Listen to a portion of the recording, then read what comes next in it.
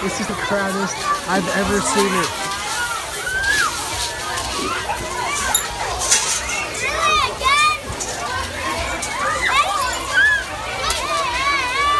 We should get the pumpkin. I just found it. it was like it was like that. I was like, what's that? And it was just like a full on pumpkin. This is nuts. It's so windy outside, so everyone's just in this tent. Absolutely.